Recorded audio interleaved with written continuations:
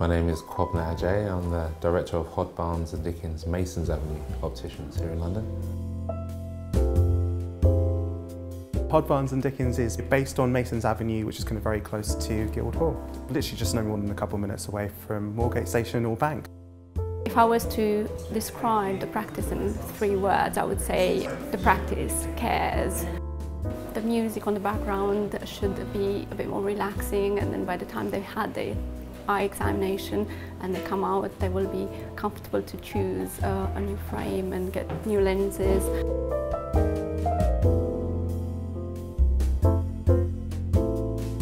When it comes to lenses, we're trying to provide bespoke lenses, looking at everyone's prescription. Frames can be handmade as well. We do use Seiko lenses as our main single vision provider. They're actually a very good value.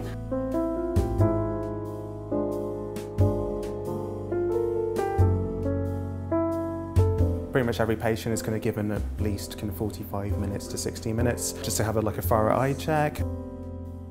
We also have pressure machines and OCT machines as well. We can take kind of photography at the back of the eye. So if there is any issues, we've got these machines here that can do that.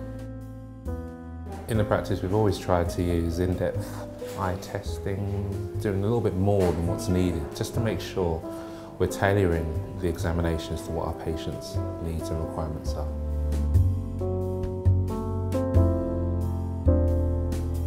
Valentin is a good, lovely brand that comes up with unusual shapes, but they are a bit on the petite size.